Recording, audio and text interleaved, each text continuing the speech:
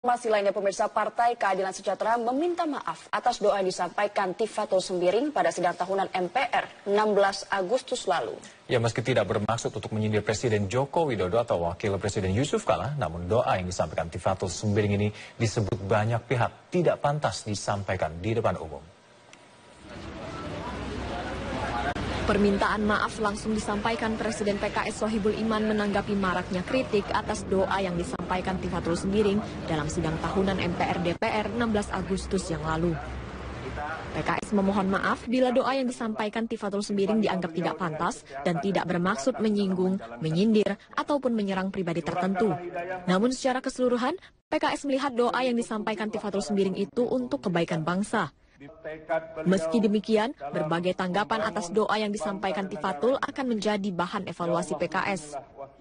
Kami pertama ya, kalau itu memang dianggap tidak pantas oleh publik, tentu kami mohon maaf dengan kejadian tersebut ya. Dan kemudian yang kedua, ya tentu saja kalau kami melihat dari doa secara keseluruhan, ya itu merupakan satu doa yang sangat luar biasa, yang sangat bagus karena kebaikan bagi bangsa ini. Sejumlah pihak pun menilai doa yang diucapkan Tifatul Sembiring tidak pantas disampaikan di muka umum. Ketua Majelis Ulama Indonesia Ma'ruf Amin mengatakan isi doa yang disampaikan Tifatul tidak tepat diselipkan di dalam doa kenegaraan. Terlebih, pembacaan doa tersebut disaksikan langsung oleh jutaan warga Indonesia melalui siaran secara langsung di TV nasional. Ya, saya kira ada hal-hal yang yang mestinya tidak perlu tapi dibacakan segala apa supaya yang perlu digemukkan gitu saya kira ada hal-hal yang sebenarnya tidak perlu tapi juga muncul di doa itu. ya. sepatutnya tidak bisa disebutkan Pak. Iya mestinya tidak dibunyikan yang begitu-gitu. Doa Tifatul dalam sidang tahunan MPR DPR menuai kritikan di media sosial setelah Tifatul merubah dan menambah sejumlah kata-kata dalam teks doa yang sebelumnya sudah disiapkan. Tim Liputan, Metro TV. Kita... Inilah headline news pukul 21 waktu Indonesia bagian Barat. Presiden PKS Sohibul Imam memohon maaf atas doa yang disampaikan Tifatul Sembiring pada sidang tahunan MPR 16 Agustus yang lalu. Mewakili PKS, Sohibul menyampaikan Tifatul sama sekali tidak bermaksud untuk menjadi Presiden Joko Widodo ataupun Wakil Presiden Yusuf Kala. Menurut Presiden PKS Sohibul Iman, PKS memohon maaf bila doa yang disampaikan Tifatul Sembiring dianggap tidak pantas. Namun secara keseluruhan, PKS melihat doa yang disampaikan politisi PKS tersebut untuk kebaikan bangsa, termasuk kesehatan Presiden dan Wakil Presiden. Tifatul ditegaskan Sohibul sama sekali tidak bermaksud untuk menyinggung, menyindir, ataupun menyerang pribadi tertentu. Meski demikian, berbagai tanggapan atas doa yang disampaikan Tifatul akan menjadi bahan evaluasi PKS. Presiden PKS menegaskan, meski sisipan kalimat yang dianggap kurang pantas dalam doa, namun doa disampaikan oleh Tifatul tulus dan ikhlas untuk kebaikan bangsa ke depannya. Kami pertama ya, kalau itu memang dianggap tidak pantas oleh publik, tentu kami mohon maaf dengan kejadian tersebut ya. Dan kemudian yang kedua, ya tentu saja kalau kami melihat dari doa secara keseluruhan ya itu merupakan satu doa yang sangat luar biasa yang sangat bagus karena mendoakan terkait dengan masalah uh, kebaikan bagi bangsa ini yang termasuk juga kesehatan bagi Pak Jokowi selaku presiden cuma memang dengan adanya sisipan menjadi seperti main-main tapi percayalah bahwa doa Pak Fatul adalah doa yang tulus ikhlas untuk kebaikan bangsa dan negara ini. Pemprov DKI Jakarta mengajak seluruh warga untuk turut memeriahkan Hari Kemerdekaan Republik Indonesia. Pemprov DKI Jakarta menggelar serangkaian acara dengan tajuk Gebiar Jakarta Merah Putih pada malam hari ini. Kita bergabung bersama dengan rekan kami Anissa Rahman langsung dari Gedung Balai Kota Jakarta. Anissa, apa saja kemeriahan yang Anda saksikan di Gebiar Jakarta Merah Putih malam hari ini? dari suku mana aja, dari agama apa aja Ya Robert, dalam rangka memperingati hari ulang tahun ke-72 Republik Indonesia yang jatuh pada tanggal 17 Agustus Kamis kemarin, pemerintah Provinsi DKI Jakarta ini menggelar serangkaian acara dengan tema Gebiar Jakarta Merah Putih. Dan dapat dilihat di belakang saya kemeriahan di pelataran gedung dari Balai Kota dari DKI Jakarta ini cukup meriah dengan penampilan dari sejumlah pengisi acara dan Gebiar Jakarta Merah Putih ini sudah digelar selama empat hari berturut-turut yang dimulai pada tanggal 16 Agustus 2017 hingga tanggal 19 Agustus 2017 atau tepatnya malam ini yang merupakan malam puncak penyelenggaraan Gebiar Jakarta Merah Putih. Dan di malam puncak Gebiar Jakarta Merah Putih ini akan diisi dengan uh, seni budaya remaja dengan menampilkan band, lalu juga rebana hingga tari tradisional dan juga tari modern yang seluruh pengisi acaranya diisi oleh remaja. Dan tadi acara yang dimulai pada pukul 19.30 waktu Indonesia Barat ini diisi atau dihadir langsung oleh Gubernur DKI Jakarta Jarod Saiful Hidayat dan juga seluruh dan juga seluruh uh, dari pegawai negeri sipil Pemprov DKI Jakarta. Dan tadi dalam sambutannya Gubernur DKI Jakarta Jarod Saiful Hidayat menyatakan mengapa menampilkan komunitas anak muda dalam malam puncak pagelaran Gebiar Jakarta Merah Putih ini karena masa depan bangsa ini lebih banyak ditentukan oleh remaja dan juga komunitas pendidikan yang memiliki peran penting dalam masa depan bangsa sehingga penting penting untuk selalu memberikan wadah dan juga mensupport anak muda untuk terus berprestasi. Robert. Baik, terima kasih Anissa Rahman atas informasi yang langsung dari Balai Kota Jakarta. Demikian informasi kami dalam Headline News. Tetaplah bersama kami, CEO Forum. Kami lanjutkan. Pemirsa sidang tahunan DPR MPR menjadi sorotan dua penu doa penutup yang dibacakan oleh politisi Partai Keadilan Sejahtera Tifatul Sembiring menyisipkan doa agar presiden bertambah gemuk. Juga ini menyinggung sejumlah isu yang sedang hangat di tanah air. Setidaknya ada lima kalimat Tifatul yang menjadi perhatian saat membacakan doa penutup dalam sidang tahunan MPR. Politisi PKS itu menyinggung fisik Presiden Joko Widodo dan juga wakilnya Yusuf Kala. Menkominfo era Presiden Susilo Bambang Yudhoyono itu juga menyelipkan persoalan hutang dan krisis garam serta isu penyalahgunaan kekuasaan hingga sikap tunduk pada partai.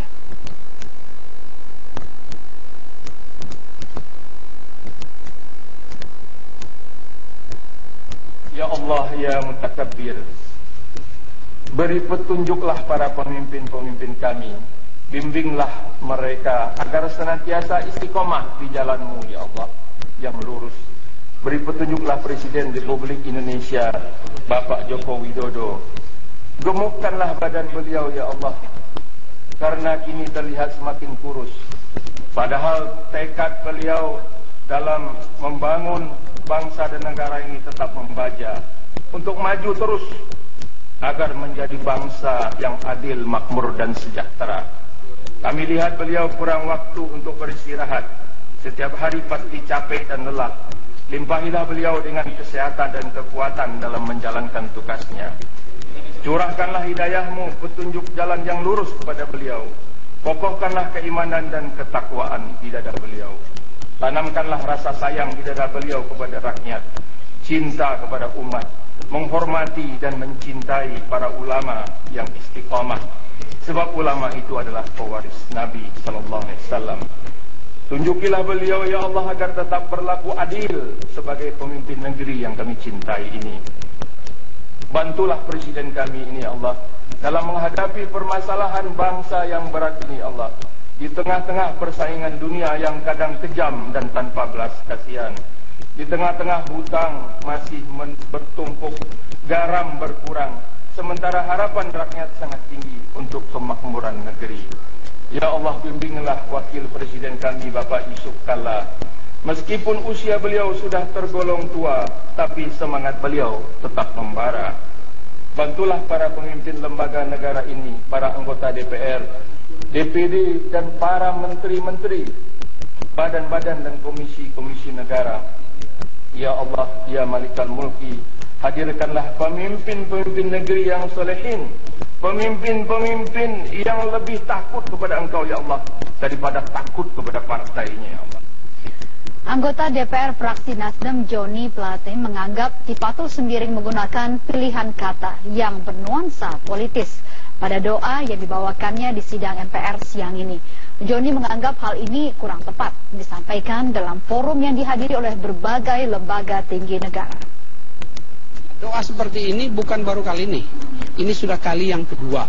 Tahun lalu pun di sidang yang sama ada yang mengkritisi doa-doa yang bernuansa politik terlalu tinggi.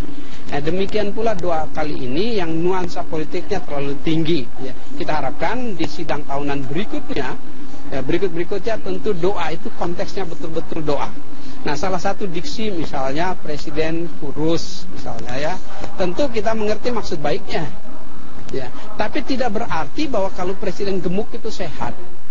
Doa politik bernada sindiran di sidang tahunan MPR yang disampaikan Tifatul sendiri, sontak menuai beragam komentar dari warganet. Sejumlah warganet di media sosial Twitter menilai tak semestinya doa berbau politik ini muncul, bahkan sampai menyinggung kondisi fisik pemimpin negara. Kritik pedas pun tak ragu dicuitkan oleh sejumlah warganet terhadap Tifatul. Respon kritik uniknya ada pula juga warga yang mengamini doa tersebut.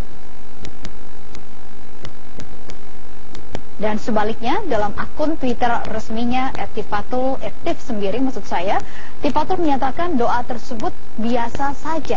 Ia mengaku hanya ingin mendoakan presiden agar lebih gemuk saja. Bahkan Tifatul sampai harus beradu argumen dengan warganet di akun Twitter miliknya terkait dengan doa yang disampaikannya.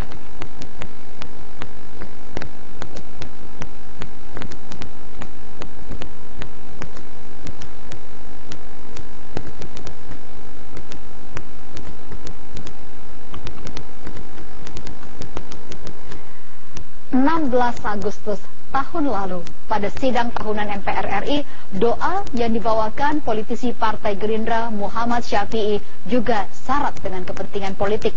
Doa politisi ini menyoroti masalah politik, hukum, ekonomi, sosial, dan budaya. Doa politis mewarnai sidang tahunan MPR RI yang dihadiri Presiden Joko Widodo 16 Agustus tahun lalu.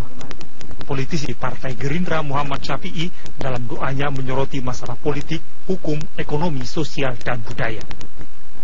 Doa Syafi'i yang politis menyatakan peta pola kehidupan Indonesia seakan dalam bayang-bayang kekuatan bangsa lain, hukum seperti pisau tajam ke bawah tumpul ke atas, bumi yang kaya dikelola bangsa lain, kehidupan sosial budaya seperti kehilangan jati diri, rakyat outsourcing, dan meminta pemimpin yang lebih baik. Bung Karno sangat khawatir bangsa kami akan menjadi kuli di negeri kami sendiri. Tapi hari ini sepertinya kami kehilangan kekuatan untuk menyetop itu bisa terjadi. Lihatlah Allah. Bumi kami yang kaya dikelola oleh bangsa lain. Dan kulinya adalah bangsa kami. Doa politis Muhammad Syafi'i menuai kritik. Sejumlah akun Twitter menyoroti doa Syafi'i dan menyarankan politisi jangan lagi memimpin doa pada acara resmi kenegaraan. Doa politis dikhawatirkan akan berulang jika diberi kesempatan kepada politisi untuk memimpin doa dalam acara resmi kenegaraan yang dihadiri presiden, wakil presiden, dan para menteri. Tim Liputan Metro TV. Sementara Ketua DPR RI Setia Novanto tidak hadir dalam sidang tahunan MPR, DPR, dan DPD RI. Menurut Wakil Ketua DPR Agus Hermanto, Setia Novanto tidak hadir dikarenakan sakit. Kita tahu uh, ini adalah sakit beliau, sehingga kalau sakit kan tentunya nanti juga di dalam melaksanakan rapat juga tentunya tidak akan uh, berhasil dengan baik. Sedangkan uh, rapat itu kan tidak harus dipimpin oleh ketua. Karena kita ketahui bahwa kepemimpinan adalah kolektif kolegial sehingga bisa saja uh, dipimpin oleh wakil ketua akan uh, segera bergabung uh, ke istana. Di sore ini upacara penurunan bendera merah putih uh, digelar di Istana Merdeka sebagai bagian dalam rangka HUT ke-72 Republik Indonesia. Detik-detik penurunan bendera merah putih direncanakan pada pukul 17.00 waktu Indonesia Barat. Dan untuk mengetahui bagaimana persiapan di sana, kita bergabung dengan reporter Tezar Aditya dan juru kamera M. Rinto dari Istana Merdeka Jakarta Pusat. Tezar, bagaimana persiapan penurunan bendera merah putih di Istana Merdeka sore ini? Jelang upacara penurunan bendera merah putih yang dijadwalkan akan dilaksanakan pada pukul 5 sore nanti. Ini sekitar 15 menit lagi. Dan ini juga masih diisi oleh acara kirap budaya Nusantara dan juga hiburan-hiburan. Tadi sudah ada hiburan dari marching band, kemudian juga ada tarian uh, tradisional dan saat ini sedang diisi oleh acara ibu kota. Tadi sudah ada Tulus, kemudian juga sudah ada Angel Peters dan saat ini yang sedang melakukan pertunjukan dan sedang dinikmati oleh hadirin di sini. Ini adalah BAMS. Nah, nah ini berbeda dengan pada saat upacara pengibaran bendera tadi. Kalau tadi pagi ini diisi presentasenya 70% adalah masyarakat umum dan 30% adalah pejabat VVIP dan juga undangan negara. Nah, kalau untuk suara ini ini diisi 90%-nya oleh masyarakat dan 10%-nya adalah pejabat VVIP. Bahkan kalau kita lihat juga tadi uh, masyarakat sudah memenuhi kawasan dari depan istana ini sudah sejak pukul 2. Tadi antriannya sudah cukup panjang dan ini juga untuk di bagian depannya, di bagian sebenarnya ini merupakan bagian di depan pagar istana ini juga dibuka untuk masyarakat umum. Tadi juga masyarakat yang sedang-sedang yang sedang berada di depan istana juga diper, diperbolehkan masuk untuk mengisi uh, kursi yang ada di depan sini. Nah tadi juga sebenarnya Vale, tadi seperti tahun sebelumnya memang Presiden Joko Widodo juga menyempatkan diri untuk berkeliling untuk menyapa satu persatu warga yang sudah memenuhi undangan uh, upacara penurunan bendera hari ini. Bahkan tadi juga Presiden Jokowi selain di kawasan depan istana juga tadi sempat keluar ke sini untuk uh, menyapa masyarakat yang ada di bagian depan istana hingga keluar gerbang pintu istana tadi balai. Ini juga masih sesuai rencana. Nanti upacara akan dilaksanakan pada pukul 5 sore nanti. Kalau tadi pagi ini Paskibraka dinamakan tim putih untuk sore ini dinamakan tim merah dan terbagi atas tiga kelompok, kelompok 17, kelompok 8, dan juga kelompok 45.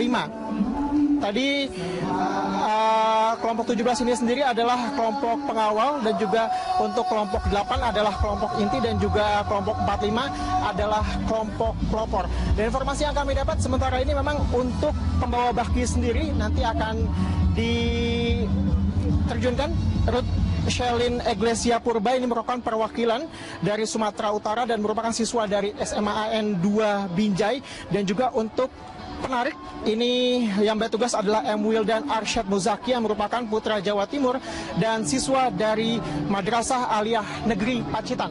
Dan untuk petugas yang membentang nanti Alvarez Deo Simangusong ini merupakan uh, siswa dari Kalimantan Timur dan juga SMAN 4 Berau. Nah ini pemirsa seperti di layar kaca Anda ini seperti yang saya ceritakan tadi.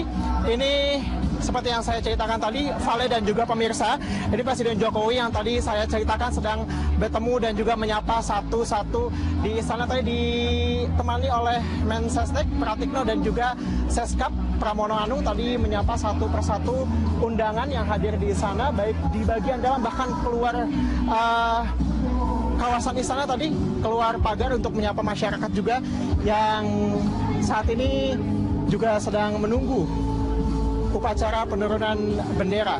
Demikian, Vale. Baik, Teza, meriah sekali tampaknya dari gambar yang kami dapatkan di sini. Mudah-mudahan persiapan dapat berjalan lancar sehingga nanti pada pukul 5 dapat juga dilaksanakan dengan baik uh, upacara penurunan bendera pada hari ini. Terima kasih atas laporan Anda. Demikian tadi laporan reporter Tezar Aditya dan juru kamera M. Rinto langsung dari Istana Merdeka, Jakarta. Bisa kita lanjutkan dialog.